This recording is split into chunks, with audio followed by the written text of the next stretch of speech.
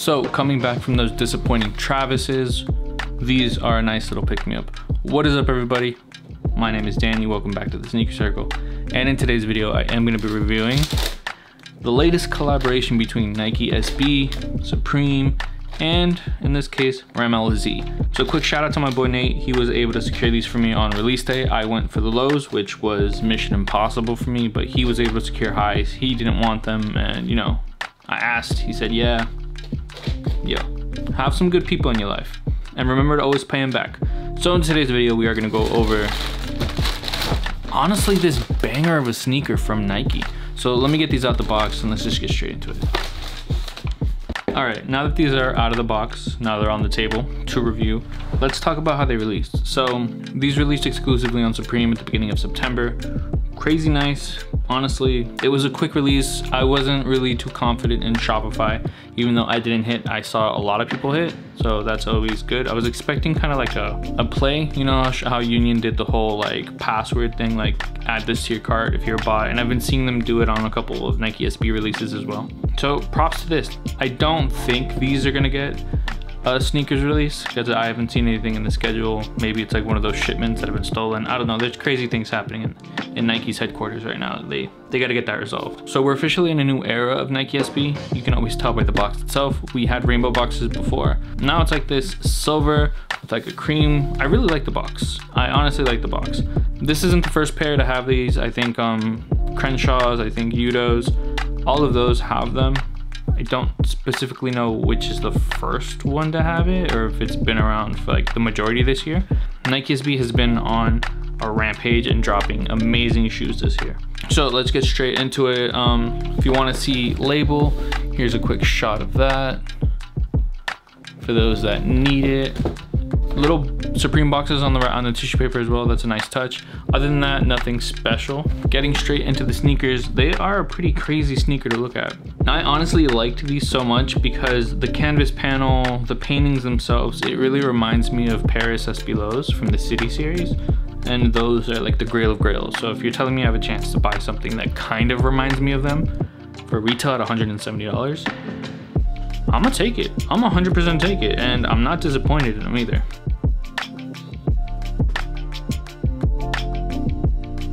So for those of you who do not know, Rammellzee is an artist. He's a visual artist, a painter. He's even a musician. He does a lot of graffiti and you can kind of tell on the panels themselves. He did pass away in 2010, but this isn't like a new collaboration with Supreme. They've been doing it since the early 2000s. So they've been collaborating with him, his likeness, everything along those lines.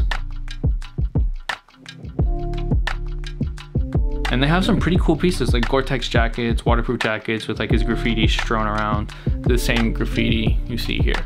Leading straight into it, um, you do get his artwork throughout the entire upper of the sneaker. So you have like portraits right here. This is actually a painting of Rembrandt right there. And I think I remember reading somewhere that something Rammellzee really liked doing is he liked referencing old masters. So you think Van Gogh, you think people along those lines where their art is legendary. And I guess he really liked referencing those figureheads themselves. Very apparent with this.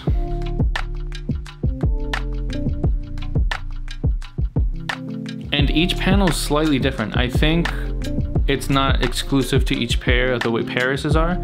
So like the right shoe will always have these panels on them, like it's calculated versus the left panel having slightly different panels, slightly different pieces of art. Probably just inversed because, no, it's not inversed. You look here, there's Rembrandt on the inside and the outside here. And then these monkey faces, I'm not too sure whose art it is or if it's his specific art. It really reminds me of something Warhol would do, but I'm not like, you know, I'm not too sure. I'm not confident in that. So the entire upper is canvas. It's pretty nice. You do have suede accents here and yo, I must admit, the suede on these is crazy. It's probably the softest suede we've gotten from Nike in general in a really long time.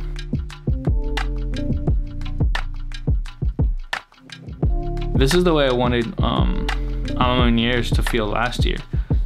Even lobsters realistically aren't this soft, but I think those are just two nubuck shoes and I'm making like a, a poor comparison. Um, I'm gonna actually unlace this right here. Yeah, this isn't the one with the extra laces.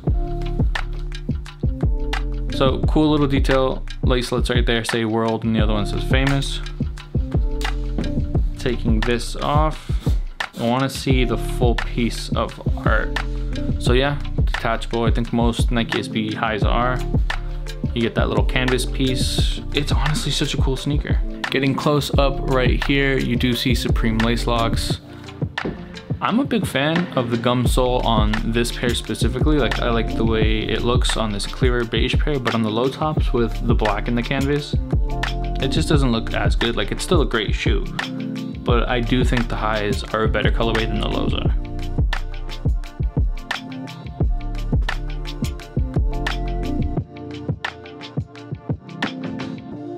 So on the inside you do get, it's pretty padded. Yeah, pretty padded. Nice little support there, but it is a Nike SB, so that was to be expected.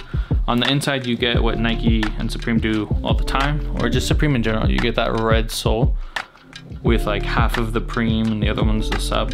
Cool little detail they added here. I don't know if the lows have it or if the blazers from last year have it, but right here on the tongue, it's kind of hard to see because it's white on white, but you do have Nike SB and then right under it you have Supreme. I am just a big fan of this whole collaboration. This is probably one of the better pickups I've had this year. Last little look around, crazy soft suede. And I'm just gonna be quiet for this next part. And I'm just gonna show you like around both shoes because it's just like an art experience, you feel me?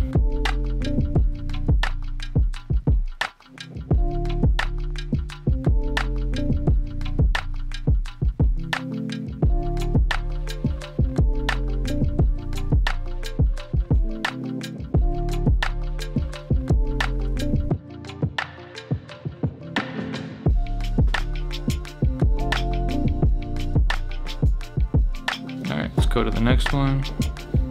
We can start this one off with this world famous tag.